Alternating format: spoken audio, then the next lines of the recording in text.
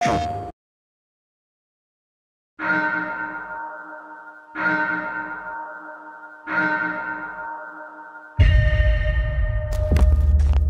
first met along the Straights of Grand Valley. We've been racing ever since.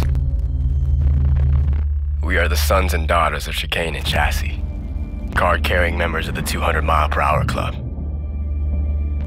The haters dismissed us as armchair racers and said our game wasn't a sport. Then we filled the podium at Le Mans. But something changed.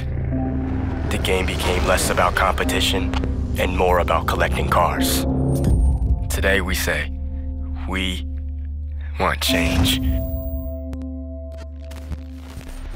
Let's burn it to the ground. Start from scratch.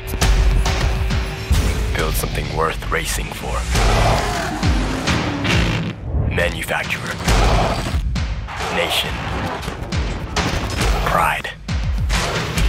This is real racing.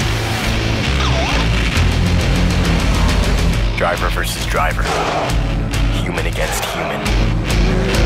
This is a chance to get better, stronger, faster. Because we don't want just another game. We want sport.